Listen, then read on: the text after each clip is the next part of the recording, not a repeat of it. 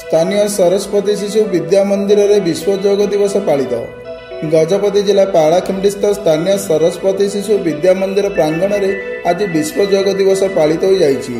ଏହି କାର୍ଯ୍ୟକ୍ରମରେ ଗଜପତି ପାତଞ୍ଜଳି ଯୋଗ ପୀଠର ଭାରତ ସ୍ୱାଭିମାନର ଜିଲ୍ଲା ପ୍ରମୁଖ ବିଘ୍ନେଶ୍ୱର ଦାସ ଜିଲ୍ଲା କୃଷକ ପ୍ରମୁଖ ଏ ଜଗନ୍ନାଥ ରାଜୁ ଜିଲ୍ଲା ପ୍ରଭାରୀ ସୁରେନ୍ଦ୍ର ରଥ ମହିଳା ଯୋଗ ପ୍ରମୁଖ ଶ୍ରୀମତୀ ଆଶାଲତା ପାଣିଗ୍ରାହୀ ଯୁବ ଭାରତ ପ୍ରଭାରୀ ସୁଶାନ୍ତ କୁମାର ମହାପାତ୍ର ସ୍କୁଲର ପ୍ରଧାନ ଆଚାର୍ଯ୍ୟ ଶ୍ରୀ ସରୋଜ କୁମାର ପଣ୍ଡା ପ୍ରମୁଖ ଉପସ୍ଥିତ ରହି ଏହି ଯୋଗ ଦିବସର ମୁଖ୍ୟ ଭୂମିକା ଗ୍ରହଣ କରିଥିଲେ। ଏହି ଯୋଗ ଦିବସ ଅବସରରେ ସ୍କୁଲର ବିଦ୍ୟାର୍ଥୀ ଆକାଂକ୍ଷା ମହିଳା ସଂଗଠନର ସଦସ୍ୟା ପାତଞ୍ଜଳି ଯୋଗ ପୀଠର ସଦସ୍ୟଙ୍କ ସହ ଅନ୍ୟମାନେ ଉପସ୍ଥିତ ରହି ଯୋଗ କରି ସମସ୍ତଙ୍କୁ ସୁସ୍ଥ ରହିବା ପାଇଁ ବାର୍ତ୍ତା ପ୍ରଦାନ କରିଥିଲେ।